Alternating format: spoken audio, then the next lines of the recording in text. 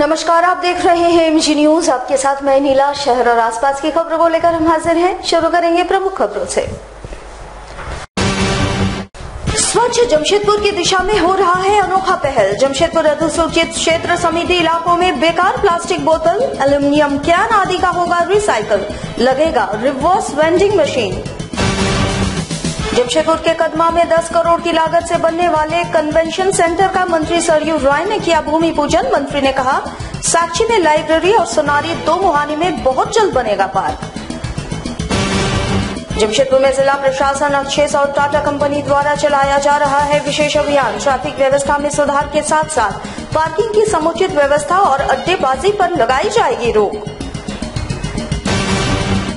जलको क्षेत्र के स्कूलों के मनमाने रवैये के खिलाफ शिक्षा प्रसार केंद्र में भाजपा ने शिक्षा सत्याग्रह के तहत दिया एक दिवसीय धरना।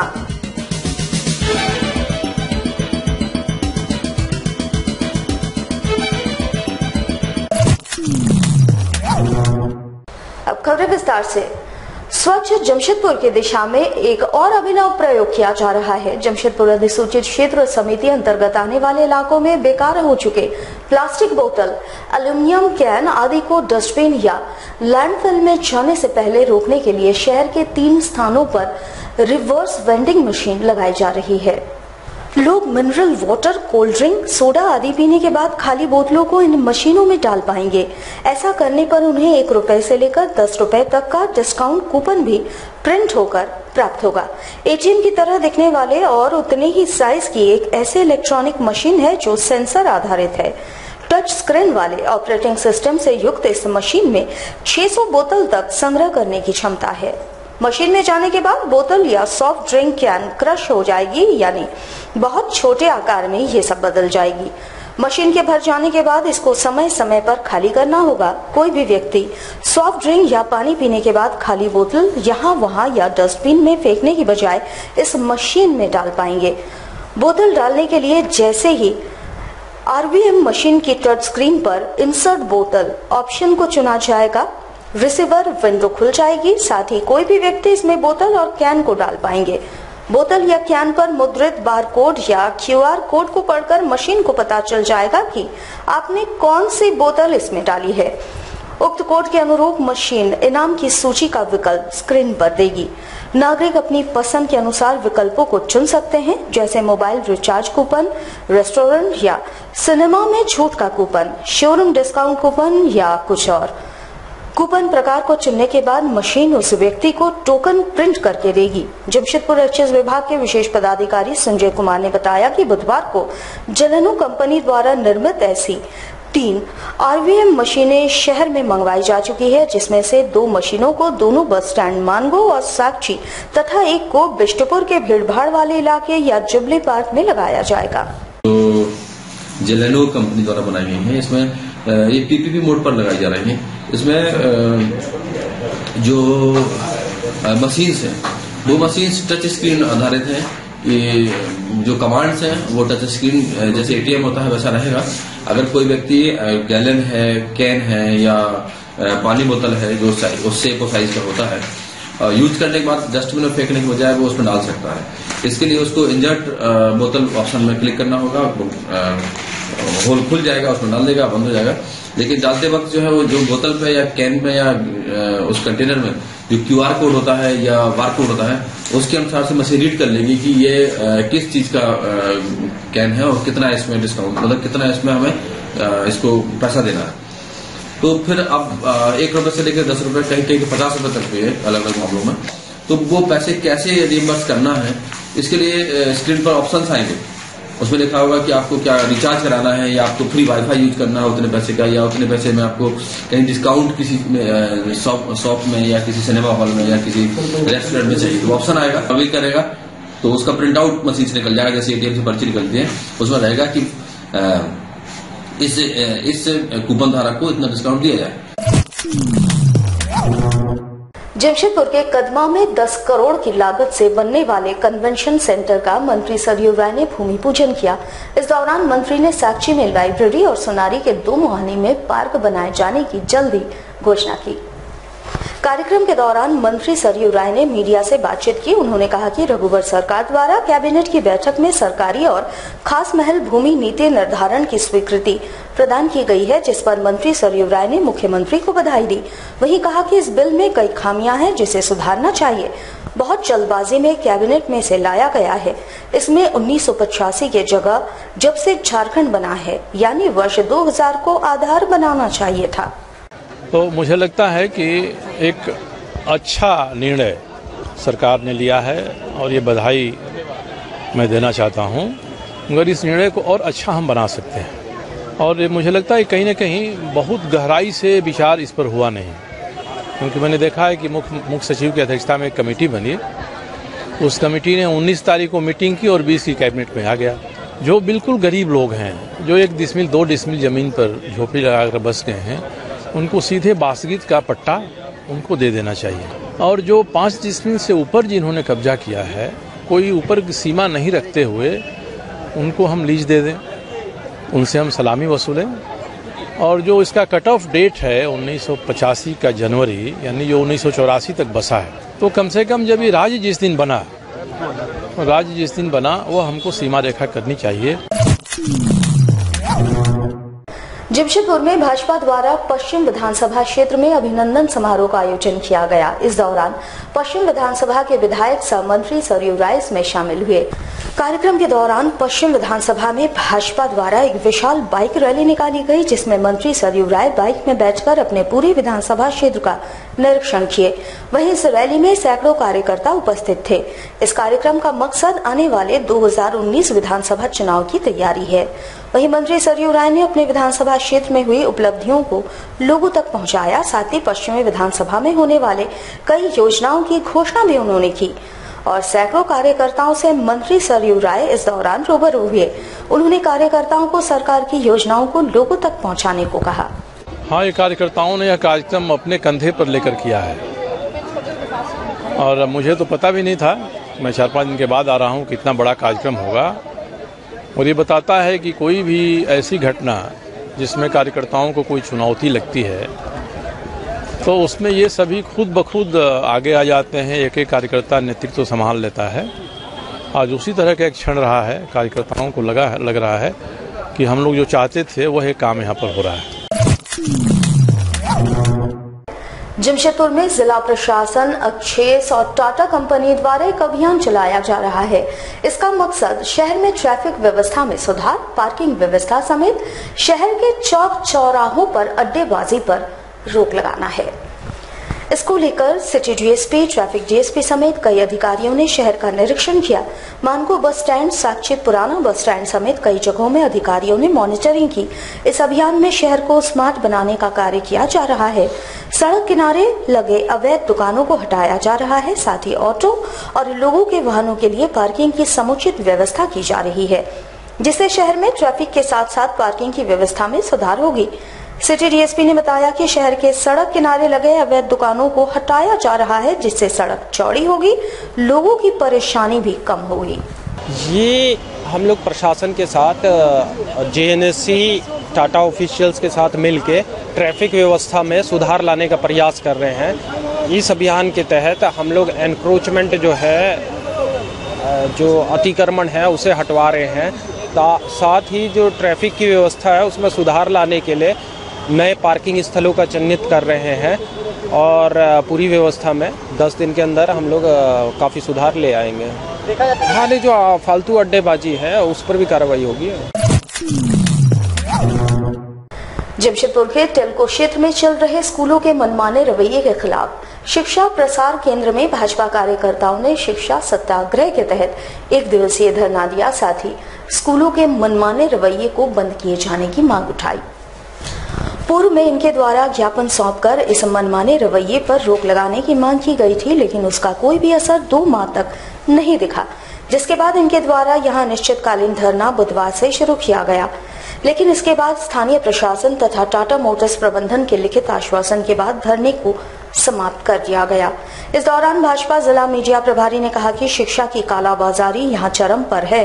सभी स्कूल अपने मनमाने रवैये पर चल रहे हैं और अभिभावकों से केवल मुद्रा दोहन किया जा रहा है, जिस कारण से विवश होकर यहाँ धरना दिया गया। इन्होंने कहा कि इस पर उचित कार्रवाई के लिए फ़िलहाल दो दिनों का समय प्रशासन ने मांगा है और इसी आश्वासन पर धरने को फ़िलहाल स्थगित कर दिया गया है। और अगर इस समय में कोई ठोस पहल नहीं की जाती है तो आगे उग्र आंदोलन किया जाएगा। आईसीएसई और सीबीएसई बोर्ड से संबंधित। स्कूलों की मनमानी चरम सीमा पर थी। इसको लेकर के हम लोगों ने जिला प्रशासन और स्कूल को एडमिनिस्ट्रेशन देख रही शिक्षा प्रसार केंद्र के संबंधित अधिकारियों का ध्यान आकृष्ट कराते हुए इस पर रोक लगाने की मांग की थी। लेकिन दो महीने से भी ज़्यादा समय होने के बावजूद प्रबंधन जो है संवेदन शून्य है, स्कूलों की मनमानी चरम पर है और स्कूल जो है एक ही चिन्हित दुकान से यूनिफॉर्म और किताब खरीदने के लिए बाध्य कर रही थी। उसको लेकर के अभिभावकों और छात्रों का गुस्सा फूटा है। उन्होंने हमारी संस्था शिक्षा सत्याग्रह से संपर्क किया और मदद की गुहार लगाई। उसी गुहार को सुनते हुए आज हम लोगों ने यहाँ पर सांकेतिक धरना प्रदर्शन किया है, जिसमें अभी तक कोई अधिकारी जो है आकर के आश्वासन दे रहे हैं कंपनी की ओर से कि आपकी जो मांगे है वो मान ली जाएगी। झारखंड राज्य राजपत्रित कर्मचारी महासंघ और झारखंड राज्य चतुर्थ वर्गीय कर्मचारी महासंघ की ओर से सरायकेला खरसवा जिला मुख्यालय पर एक दिवसीय धरना प्रदर्शन किया गया। वैसे कर्मचारियों ने मुख्य रूप से सातवें वेतन आयोग का लाभ, पदोन्नति, चतुर्वर्गीय कर्मचारियों के भत्ते में बढ़ोतरी आदि मांगों को लेकर धरना दिया।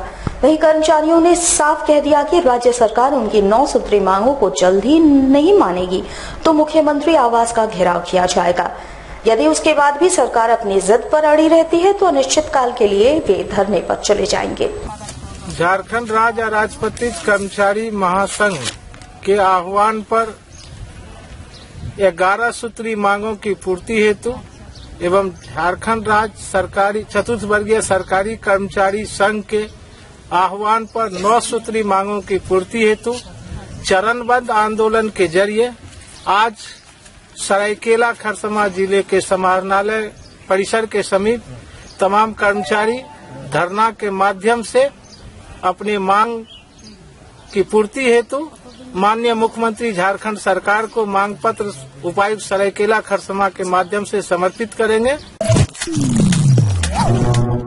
जमशेदपुर के गोलमोरी थाना क्षेत्र में ट्रक ड्राइवर संघ, ट्रक मालिक विवेश कुमार को अज्ञात दो अपराधियों ने गोली मार दी, जिसके बाद दो अपराधी वहाँ से फरार हो गए। गोली की आवाज़ सुनकर वहाँ लोगों की भीड़ उमड़ पड़ी, तब जाकर लोगों ने घायल विवेश को आनंद फानंद में टीएमएच में भर्ती कराया, जहाँ वे खतरे से बाहर बताए जा रहे हैं। सूचना मिलते ही मौके पर सिटी डीएसपी थाना प्रभारी पहुँचे और पूरे मामले की छानबीन में जुट गए। बताया जा रहा है कि घटना सीआरएम गेट के पास की है, जहाँ ट्रक मालिक वीरेश कुमार, जो कि यूपी के रहने वाले हैं, अपने ट्रक में माल लोडिंग कर जमशेदपुर से दिल्ली के लिए रवाना हो रहे थे। तभी वहाँ बाइक से दो अज्ञात अपराधी आए और उनसे पूछने लगे की शशि कमाल है क्या? उन्होंने कहा की नहीं पता। बस इतने में उन्हें गोली मार दी गई। फ़िलहाल गोली उनके पैर में लगी है और खतरे से वे बाहर है। वहीं पूरे मामले की जाँच पुलिस कर रही है। आदितपुर थाना पुलिस आदितपुर सापड़ा घाट से बालू का उत्खनन करते हुए एक ट्रैक्टर और एक हाईवा को दबोच लिया। इस दौरान हाईवा का चालक भागने में सफल रहा। आदितपुर पुलिस सापड़ा घाट से अवैध रूप से बालू का उठाव करते हुए एक ट्रैक्टर और एक हाईवा को जब्त कर लिया है। इस दौरान हाईवा का चालक भागने में सफल रहा। नदी किनारे बालू का उठाव करते पुलिस ने इन्हें पकड़ा और वाहनों के कागजातों के बारे में जानना चाहा तो चालकों के पास वैध कागजात नहीं थे। तभी इन वाहनों को पुलिस थाने ले गई। ट्रैक्टर के चालक को फ़िलहाल थाने में रखा गया है। रही थी कि वहाँ सपड़ा जो है, आदित्यपुर थाने क्षेत्र में है। वहाँ पे अवैध बालू की निकासी हो रही है। खबर भी सत्यापित करने हेतु तो हम लोग वहाँ गए तो वहाँ देखे कि एक ट्रैक्टर बालू भर के और एक हाईवा भरा हुआ बालू लेके लोग निकल रहे थे। पुलिस की गाड़ी देख के वो लोग भागने लगे। रोक कर उसे पूछताछ करने पे ज़रूरी कागजात मांगने पे कोई कागजात प्रस्तुत नहीं किया गया है। फ़िलहाल उसे सीज कर लिया गया है और अगर तक कार्रवाई की जा रही है। हाँ एक एक ड्राइवर की गिरफ्तारी हुई है और एक हाईवा का ड्राइवर भाग गया है। और हम लोग उसको जाँच कर रहे हैं। जाँच करके जो माइनिंग ऑफिसर्स हैं कंसर्न वो अपने अग्रतर कार्रवाई उनसे लोग अपेक्षित करेंगे। सरायकेला खरसवा जिला पुलिस को बड़ी कामयाबी हाथ लगी है। आपको बता दें कि ज़िले के आदितपुर थाना पुलिस ने महज 12 घंटे के भीतर ही अलग अलग मामलों में लूटपाट करने वाले गिरोह के तीन लुटेरों को गिरफ़्तार करने में सफलता प्राप्त की है। वहीं जिला पुलिस के लिए इसे बड़ी कामयाबी के रूप में देखा जा रहा है। आपको बता दें कि पिछले दिनों 24 घंटे के भीतर लूट की दो बड़ी घटनाएँ हुई थी, जिसमें जिला पुलिस की कार्यशैली पर सवाल भी उठने लगे थे। अभी दोनों ही मामलों में पुलिस के हाथ खाली ही थे। वहीं ताज़ा मामला लूट का ही है, जहाँ मेला देखकर लौट रहे दो युवकों से हथियार का भय दिखाकर मोबाइल और पर्स लूटकर चार पाँच अपराधी भाग निकले थे। आदितपुर थाना पुलिस की सक्रियता से महज 12 घंटे के भीतर ही मामले के दो अभियुक्त लूट के मोबाइल के साथ गिरफ़्तार हो गए। वहीं दोनों लुटेरों का नाम राखाल सरदार और बादल सरदार बताया जा रहा है। वहीं पुलिस अन्य अभियुक्तों की तलाश में छापेमारी कर रही है। कल तीन बजे सुबह में ये सत सदवनी तरफ़ से, सपड़ा सदवनी तरफ़ आ रहे थे। तो दो लड़के आ रहे थे तो उनको ऐसो तीन चार चार लड़के ऐसो रास्ते में, सुनसान जगह में, जो पहले से घात लगा कर बैठे थे, वहाँ पर उन लोगों को रोककर। और जान मारने का भय दिखाकर उनका मोबाइल, तीन मोबाइल और पैसा और पर्स वगैरह छीन लिया बाद में है सो इसके द्वारा है सो आकर प्राथमिकी दर्ज कराया गया। प्राथमिकी दर्ज कराने के बाद कुछ हुलिया के आधार पता चलने पर अभियुक्तों को पकड़ा गया। एक अभियुक्त को पकड़ने के बाद उसके पास से है सो लूटा गया मोबाइल है सो बरामद हुआ है। और उसी एक बताया अनुसार दूसरे अभियुक्त की गिरफ्तारी हुई है और उसके पास से भी दूसरा एक मोबाइल बरामद हुआ है। इसमें अन्य जो अभियुक्त है विभागे हैं जिनकी गिरफ्तारी का प्रयास। सरायकेला खरसवा ज़िले के सरायकेला थाना अंतर्गत खरसवा रोड के समीप बुरोडी पुलिया से टकराकर दो सगे भाइयों की घटनास्थल पर ही मौत हो गई। घटना बुधवार सुबह 10 बजे की बताई जा रही है। वहीं घटना के संबंध में मृतक के परिजन ने बताया कि दोनों भाई एक मोटरसाइकिल पर सवार होकर शादी समारोह से लौट रहे थे। बुरोडी पुलिया से टकराकर दोनों की घटनास्थल पर ही मौत हो गई। वहीं पुलिस को सूचना मिलते ही दोनों शव को अपने कब्जे में लेकर पुलिस ने पोस्टमार्टम के लिए भेज दिया है। दोनों ही भाई चिलगो और गोविंदपुर के रहने वाले थे। मेरा भाई एक एक का मजनू करनी है और एक का राजन करनी है। एक चिलकू का रहने वाला है एक गोविंदपुर का। और सड़क के यहाँ दुर्घटना में हो गया एक्सीडेंट। हाँ। शादी कर गया था बगरैली वो पार्टी उटी खा के आ रहा था। देश के सबसे बड़े बैंक घोटाले का अब जमशेदपुर में भी असर दिख रहा है। पीएनबी घोटाले की जाँच के तहत सरायकेला खरसवा ज़िले में भी ईडी के दल ने छापेमारी की। आपको बता दें कि ईडी की टीम ने ज़िले के आदितपुर शेरे पंजाब चौक स्थित new Nirmala jewellery and sons में करीब सात घंटे तक सर्वे करते हुए करीब 12 लाख से अधिक मूल्य के गीतांजलि के हीरो को जब्त कर लिया है। वहीं रात के करीब डेढ़ बजे तक इनका सर्वे जारी था। वहीं ईडी की इस कार्रवाई के बाद ज्वेलरी मालिक ने बताया कि ईडी द्वारा गीतांजलि के पाँच उत्पादों को जब्त कर लिया गया है, जिसका बाज़ार मूल्य 11 लाख से 12 लाख तक का है। उधर ईडी की कार्रवाई के बाद हीरा कारोबारियों में हड़कम मचा हुआ है। जमशेदपुर के सीताराम डेरा थाना क्षेत्र अंतर्गत पुराना सीताराम डेरा में खाना बनाने के दौरान पति पत्नी दोनों झुलस गए। दोनों को गंभीर अवस्था में एमजीएम अस्पताल में भर्ती करवाया गया है। यहाँ दोनों की स्थिति गंभीर बनी हुई है। बताया जा रहा है कि पूजा नाग खाना बनाने के लिए स्टोव जला रही थी उसी समय। स्टोव फट गया, जिससे पत्नी के शरीर में आग लग गई। उन्हें बचाने के लिए पति मोहन नाग भी झुलस गए। दोनों को इलाज के लिए एमजीएम अस्पताल में भर्ती करवाया गया है। दोनों का इलाज वहाँ चल रहा है। तो आगे यही देख रहे हैं कि जला हुआ है। अब कैसे हुआ है, यही तो नहीं मालूम है। स्टोव जला रहे थे वो खाना बनाने के लिए। पुराना चित्रण राज्य के मुख्यमंत्री के द्वारा मंगलवार को छियासी बस्तियों के मालिकाना हक के मुद्दे पर बिल तैयार कर कैबिनेट में लाया गया, जिसमें लीज का प्रस्ताव लाया गया है और इसका आधार वर्ष उन्नीस सौ पचासी को बनाया गया है। अब इस मामले में राजनीति तेज हो गई है। इस संबंध में झाविमो के महासचिव ने इसे सरासर गलत बताया। इस दौरान इन्होंने कहा कि जमशेदपुर में अधिकतर बस्तियाँ नब्बे के दशक में बनी है और इस लीज के समझौते में उन्नीस को आधार बनाया गया है। तो अब उन बस्तियों का भविष्य क्या होगा जो इस पचासी के बाद बनी है? इन्होंने कहा कि वर्ष उन्नीस सौ पचासी को आधार बनाया जाना गलत है, क्योंकि अधिकतर बस्तियाँ इसके बाद ही बसी है। इन्होंने अपने कैबिनेट के में प्रस्ताव को पारित करते हुए ये कहा कि एक एक उन्नीस के पहले जिस व्यक्ति का सरकारी प्रमाण हो, अर्थात अवैध दखल से दर्ज हो, उसे खास महल की तर्ज में 30 वर्षों का लीज बंदोबस्ती किया जाए।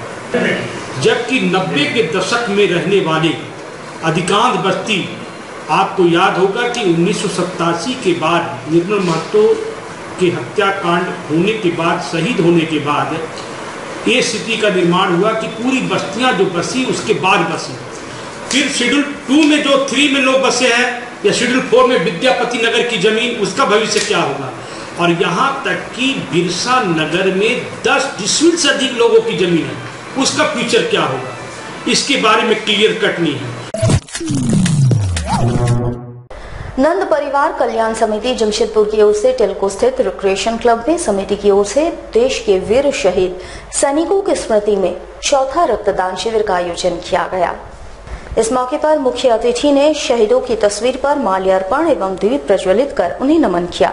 संस्था के अध्यक्ष मनोज कुमार यादव ने कहा कि संस्था का एक ही मकसद है कि गरीब एवं असहाय लोगों की मदद करना और रक्त के अभाव में किसी की मृत्यु न हो, इसलिए संस्था रक्तदान शिविर का आयोजन करते आ रही है। शिविर को सफल बनाने के लिए सभी ने इसमें बढ़ चढ़ कर भाग लिया। कल्याण समिति की तरफ़ से तरफ़ से हर वर्ष की भांति इस वर्ष भी हम लोग भारत के जो अहीर रेजिमेंट थे, उसके सैनिकों ने जो उन्नीस सौ बासठ में लड़ाई लड़ी थी और अपना शहीद हुए थे, उनके याद में हर वर्ष हम लोग रक्तदान शिविर करते हैं और 21 फरवरी का ये दिन तय रहता है संस्था की तरफ़ से। आज भी टेल्को रिक्रेशन क्लब में हम लोगों ने रक्तदान शिविर का आयोजन किया है, वीर शहीदों की श्रद्धांजलि में। और रिजांगला की जो लड़ाई थी, ये अपने आप में एक बहुत ही महत्वपूर्ण लड़ाई थी। चाइना के साथ हम सब जगह हारे ज़रूर थे, लेकिन इस जगह पर, रिजांगला पर हम लोगों ने चाइनीज़ सैनिकों को के दांत खट्टे कर दिए थे और वीर अहीरों ने बहुत ही बड़ा योगदान दिया था भारतीय सेना के लिए। तो उसकी याद में हम लोग ये रक्तदान शिविर करते हैं। हमारे साथ लगातार जुड़े रहने के लिए आप हमें YouTube पर ज़रूर सब्सक्राइब करें।